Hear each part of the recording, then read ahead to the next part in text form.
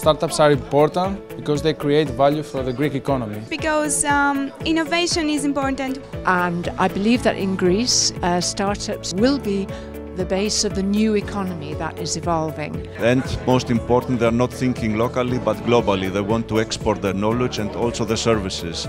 There is a problem with uh, all of our bright minds leaving our country.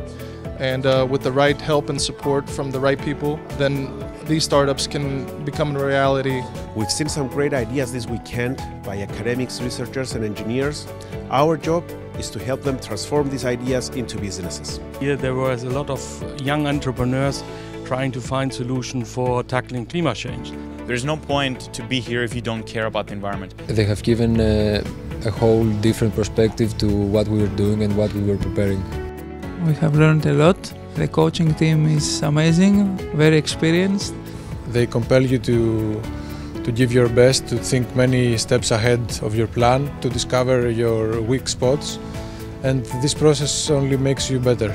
Living here, I have a toolkit in order to validate if uh, I have a business, what what is the, this business, and it is valid for the market. Everybody here has the potential to live here with a great idea that can be really made to a product or a service. The brainstorming part was something really, really nice for me to learn more from the other teams. Great teams, great ideas, and uh, for sure some new friends.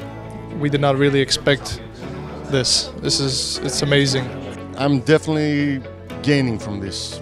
The guys that talking to us are super qualified. I'm learning a lot, a lot of things, and of course the islands that we are approaching are beautiful.